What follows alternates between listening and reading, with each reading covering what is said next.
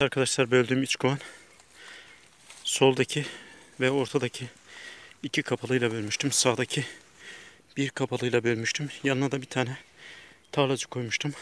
Ta- yani bir çerçeve tarlacı arı koymuştum ko- kovana geri dönenlerden. Orta ve sola ise sadece bakıcı arı var kovanda. Herhangi bir tarlacı arı koymamıştım. Ve önlerini kapatmıştım. Bakalım önden çıkış var mı? Evet. Bir kısmı dışarıdan içeri girmeye çalışıyor. Dün gece dışarıda kalanlar, içeridekiler de dışarıya çıkmaya çalışıyorlar. Şimdi ben kovanın bu tarlacısı olan tarlacı verdiğimi eee, açacağım ve diğer eee, böldüğüm ana kovan eee, daha sonra oraya bakacağım. Önce bunlara bakacağım, daha sonra oraya bakacağım. Çünkü buradaki tarlacılar açtığım zaman kovanı eğer geriye tekrar eski yerine giderlerse eee, en son oraya bakacağım. Oradaki çerçevelerde arı dansını kontrol edeceğim. Eğer arı dansında eee, yakınlarda bir yağma yapması için o kovandaki arıları eee, bir bildirimde bulunuyorsa, bir dans ediyorsa anlayacağım ki buradaki kovanlara e, yağma yapacaklar. Ve ona göre bu kovanın giriş deliklerini yine kapatacağım. Ama bu sefer farklı kapatacağım. Şu an iki gün geçti üstünden.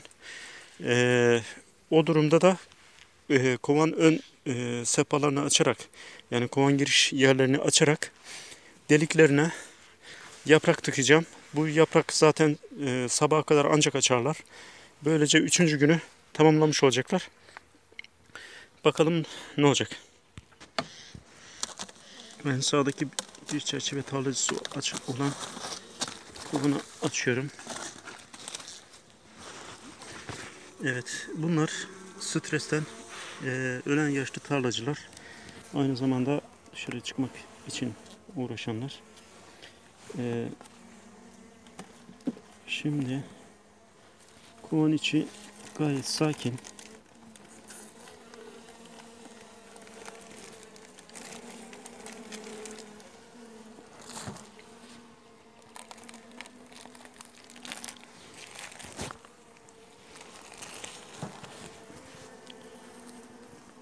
Verdiğim keki ve suyu şimdi içindeki duruma bakayım. Anarya evet ilgi var. Anarı ölmüş mü ölmemiş mi ona bakayım.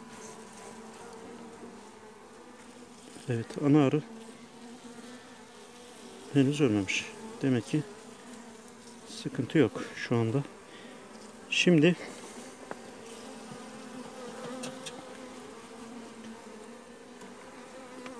bunu e, duvar çerçevesi olarak vermiştim her ihtimale karşı. Ancak şimdi yapacağım şey bunu uzak e, köşeye koyacağım. Niye koyuyorum?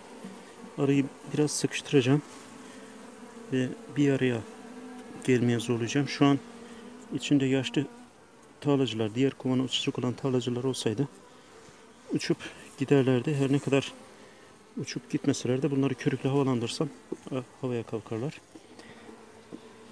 Şimdi evet kadro durumu idare eder. Ee, bir çerçevelik yaklaşık bir arı var. Ee, meme yapıp yapmadığına bakacağım şimdi. Evet, meme yapıp yapmadığına bakacağım. Kapalılardan yine çıkanlar var.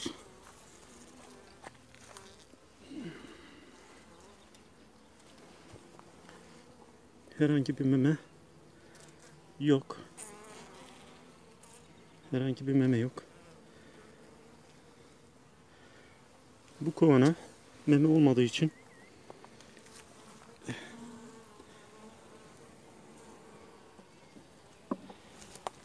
meme olmadığı için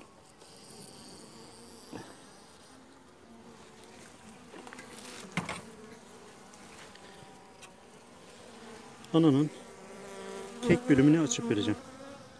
Evet kek bölümünü açtım. Buna 5 gün artı 3 gün beklememe gerek yok. Yani 5 gün alışması için ve 3 günde e, kekin yiyilip çıkılması için beklememe gerek yok. Çünkü kovanda herhangi bir e, meme yok.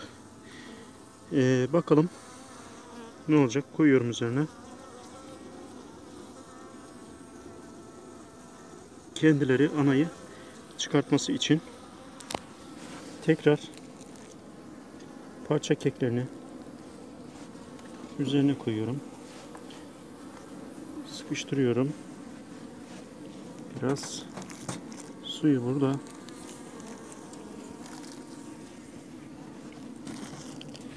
Keklerini koyuyorum. Keklerini kenara koymuyorum. Direkt üstüne koyuyorum. Çünkü kenara koyarsam gece eee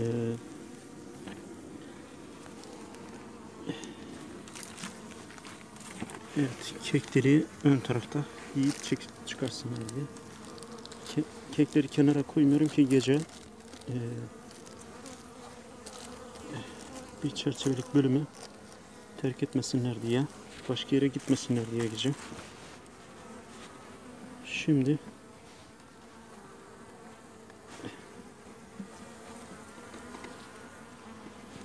biraz daha yanaştırayım. İçeri kısma geçsinler. Suyunu da kenara koydum. Şimdi yapacağım şey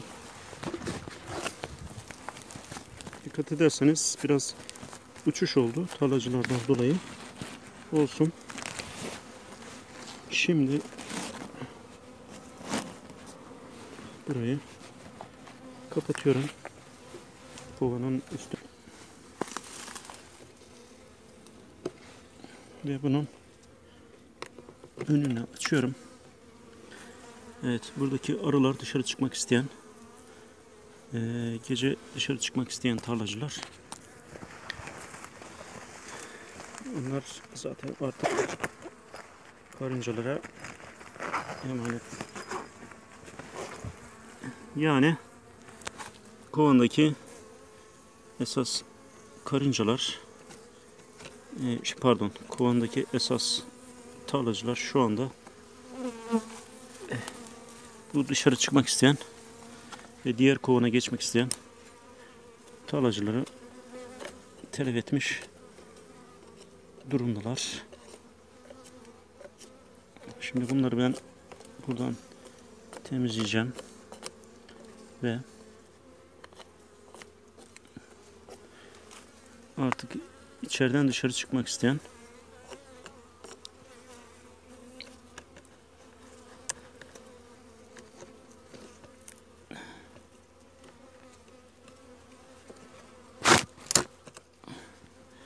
içeriden dışarı çıkmak isteyenler için ufak bir delik bırakacağım. Şu orta kısımdaki delikten çıkarabilir, çıkabilirler rahatlıkla.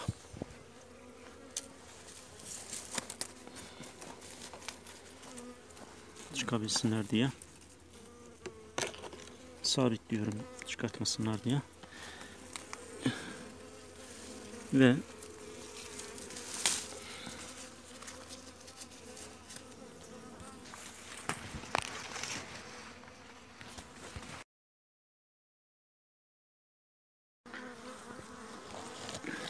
Evet, şimdi ikinciye bakıyorum. İkinci ne alemde? Evet, buna biraz kek koymuştum. Kenara bunları alıyorum artık. Ee, yani kek dışarıda yağmalamasın, yağmalanmasın diye içine koymuştum. Nasıl olsa dışarıdan içeriye giriş yok diye.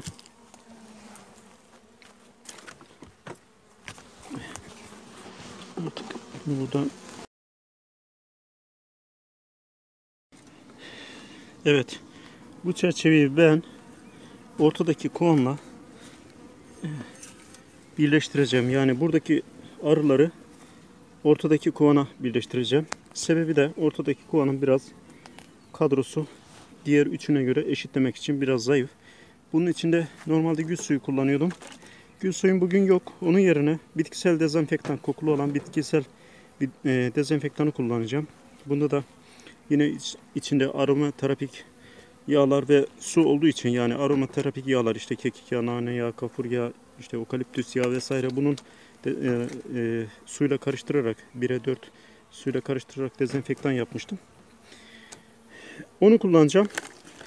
Ee, şimdi bunun için Ee,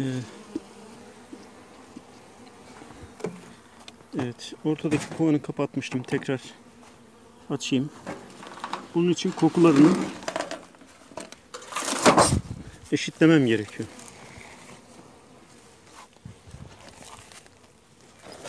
Evet. Biraz zor oluyor. Şimdi kokularını nasıl eşitleyeceğim?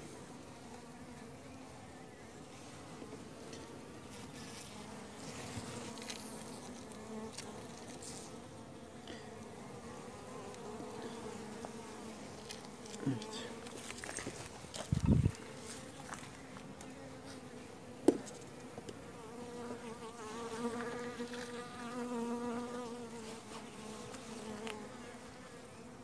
Şimdi bu çerçeveyi çerçevenin üstündeki arıların üstüne dezenfektan bitkisel dezenfektandan sıkıyorum. Yine bunun üstüne de sıkıyorum. Ve çerçevenin kovanın uzak köşesine koyuyorum.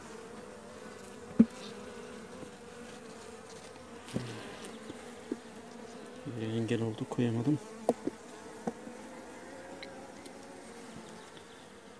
Evet uzak köşesine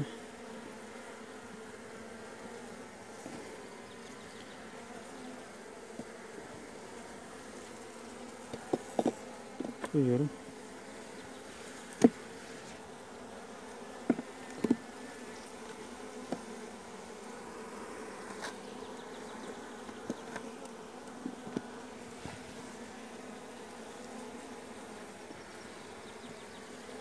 Bunları geçici olarak alıyorum. Kenara. Ve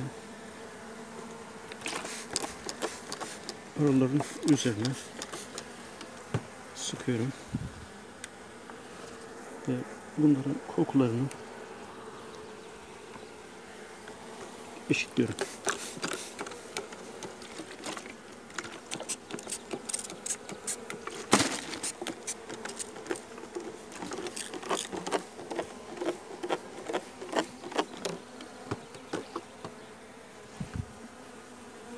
Biraz hem video çekerken hem yapmak biraz zor oluyor ama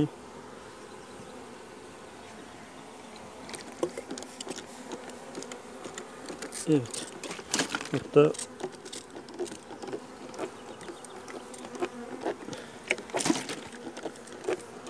bayağı bir e, kadrosu zayıf kaldı bunun. Buna yine daha sonra takviye vermek zorunda kalacağım. Şimdi yapacağım şey Evet, bir araya toplandılar.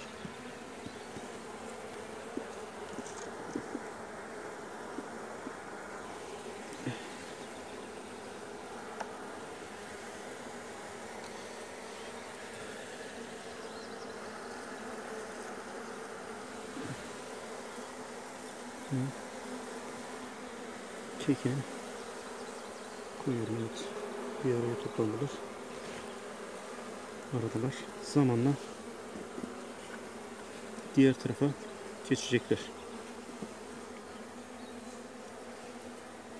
Gece. Buradan diğer tarafa geçecekler gece. Evet hemen koyayım. Peki. 제가 코인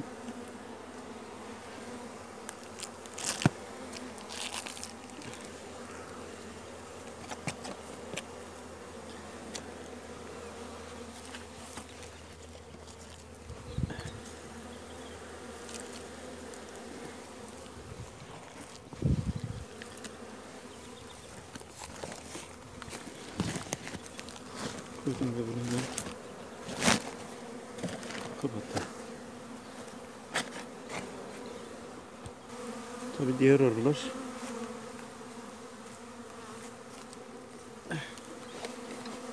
doğal olarak havaya kalktılar buranın tarlacısı diyebileceğimiz arıları. Şimdi burada bakayım. Ne alemde?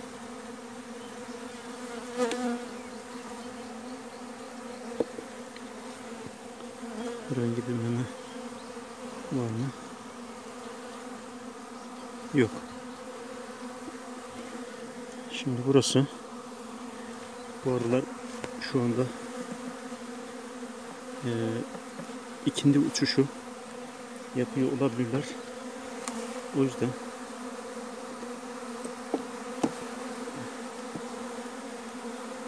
kovan giriş deliğini açık bırakacağım bunu. Bakıyorum herhangi bir meme var mı? Yok. Herhangi bir meme var mı? Yok. Tamamı ee, o yüzden e, arı şu anda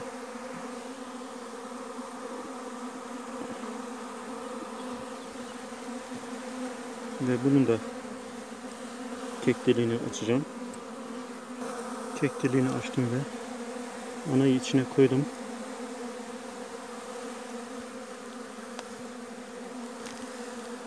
Hemen sıkıştırayım. Suyunu koyayım. Ve kekini koyayım.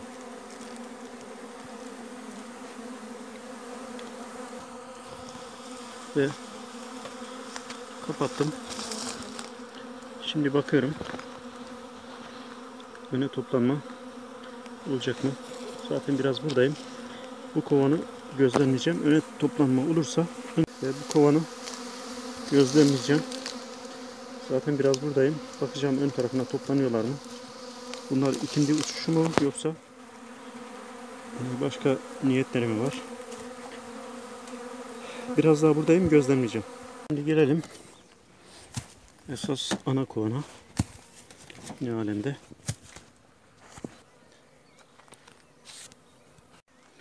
Evet bu kovana şurup beslemesi vermiştim. Bayağı içmişler şurubu. Şurubu kenara alacağım. Evet buradaki arının durumu bu. Tarlacılar buraya toplanmış vaziyetteler.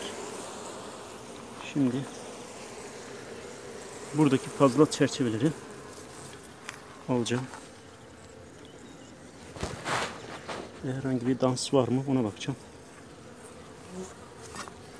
Arı dansı var mı? Yani herhangi bir yerde yağma işareti gösteren dans.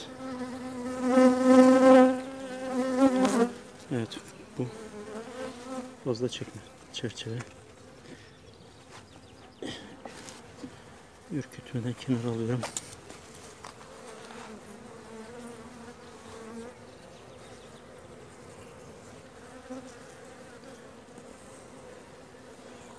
Şimdi burada ana arı bulamamıştık. Tamamen kör bölmüştüm. Görmeden, hiç ana arıyı görmeden bölmüştüm. Burada ana arı olmayabilir de meme dikmiş de olabilir. Meme diktiyse bu kovana ana yaptıracağız. Ya da hazır ana vereceğiz. Şimdi bakıyorum.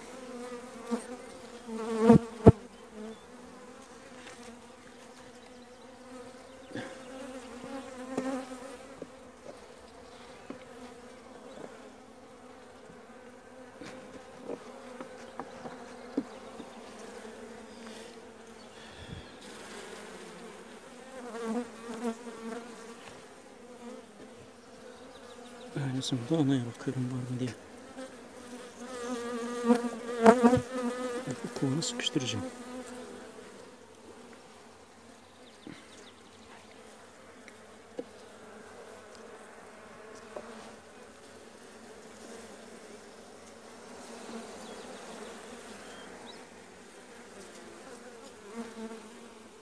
Evet, bayağı bir dağınık duruyor.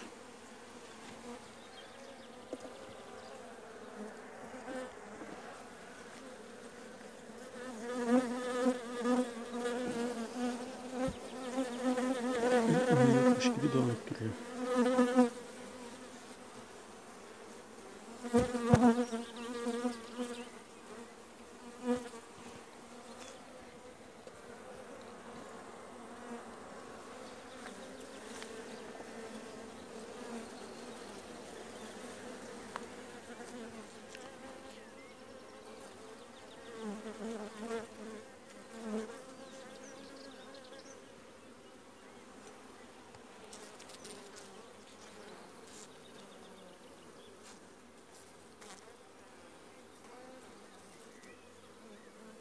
Henüz ana arıyı göremedim.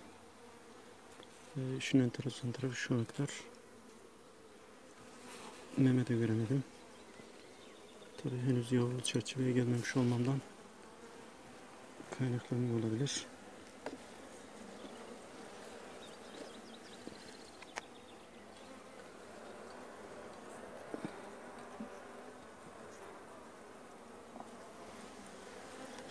Evet yavru çerçeve bu. Bakalım ne alemde. Evet.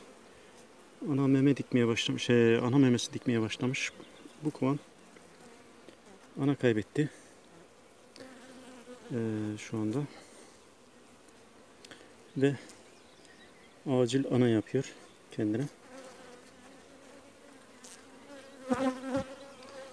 Demek ki ya anayı ezdik ya da kovanı terk etti. Zaten ana arıda ikinci yılındaydı. Yaşlı bir anaydı. Verdiğimiz çerçevelerin yarısını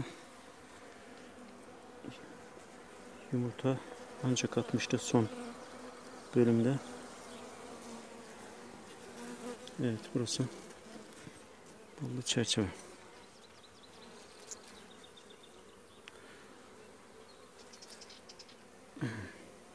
Böylece bu kovanda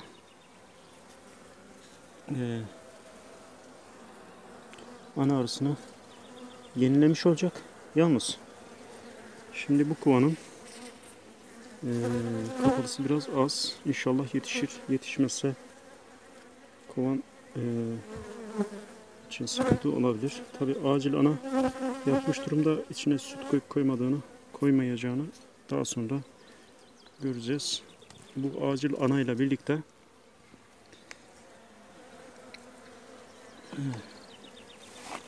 yapacağı ana arının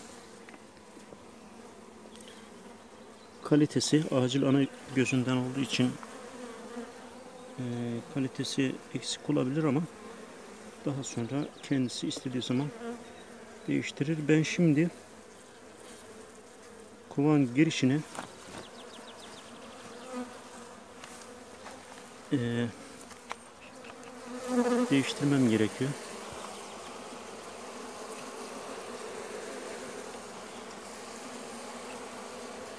E, koloni zayıf olduğu için kovan girişini sola alacağım.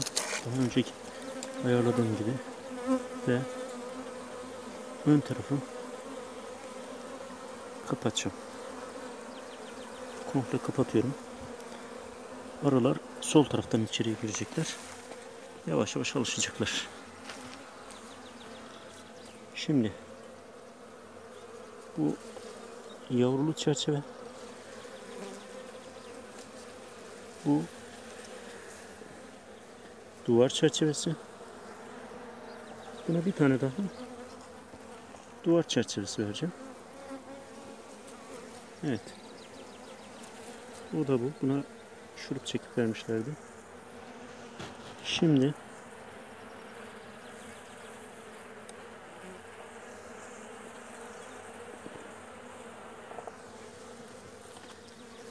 Şimdi bunu bir çerçeve daha verip e, bırakacağım. E, rahatlatmak için. Bakın burada görebileceğim çerçeve var mı? Şu yani içinde şurup olan veya bal olan yok. Şu biraz daha iyi. Sanki evet biraz şurup var. Bunu da araya buraya koyuyorum. Şu an anasızlık kolonide hat safhada ve suyunu koyduk. Hatta suyunu da değiştireyim.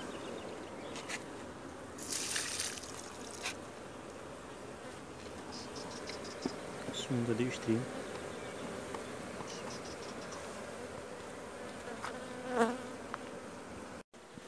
Evet buna strafor bölme tatlısını koyuyorum. Suyunu yanaştırıyorum. Su koyacağım. Ve buradaki bütün çerçeveleri çerçevelerin arasını içine sirkeleyeceğim. Evet içine sirkeledim. Sonra beslemesini vereceğim. Ee, anası olmayan koloniye mutlaka e, polenli kek beslemesi veriyorum. Şimdi e, arı kendi anasını yapacak. Zaten arada yaşlı olduğu için ikinci yılında olduğu için anayı değiştirmek zorunda kalacaktık. Muhtemelen Kasım gibi değiştirmek zorunda kalacaktık. Ama böylece de şu an hele erkekler piyasada varken anasını kendi kendine değiştirebilir kolaylıkla. Ya açık yavru vermemin amacı da zaten buydu. Şimdi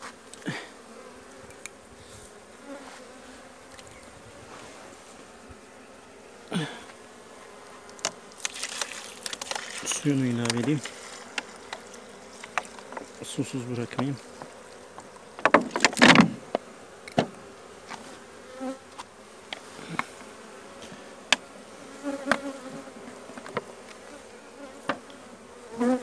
Evet. Keki içine verdim. Bunun da sebebi üstten şurupluk vereceğim için, turbo şurupluktan kalan şurubu vereceğim için e, keki üstüne yatıramayacak olmamdan da aslında keki kolay almaları için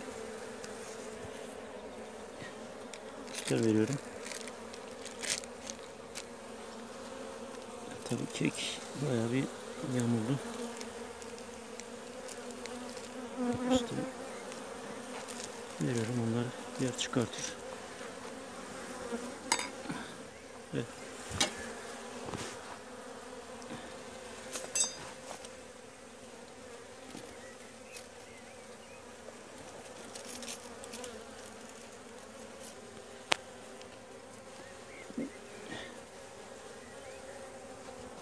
Keki naylonlu bazı yerlerden biliyorum kolaylıkla alabilsinler diye bıçakla da kesebilirim. Şimdi diliyorum ki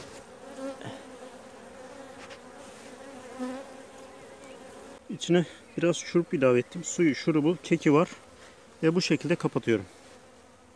Evet ön taraftan sola doğru yavaş yavaş alışarak girmeye başladılar. Şu an iki delik var. İki delik yeterli. Sadece bombuslar girmesin diye soldaki deliği biraz daraltmam gerekiyor. Bombus ve Japon eşek arıları. Çünkü biraz büyük kalıyor. Evet onun da ucuna bir çubuk koyarak biraz daralttım. Evet şimdi bu üç kovanın sol taraftaki kovan ne alemde ona bakayım. Gözlemlerime göre bu kovanın e, kadro olarak e, diğerlerinden daha avantajlı olduğunu gördüm.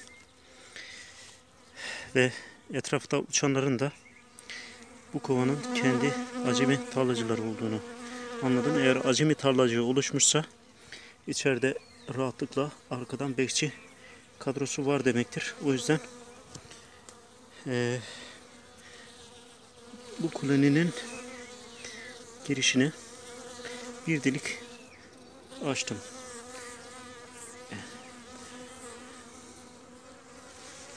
Durumunu daha sonra e, bunun bakacağız. Ne yapacak?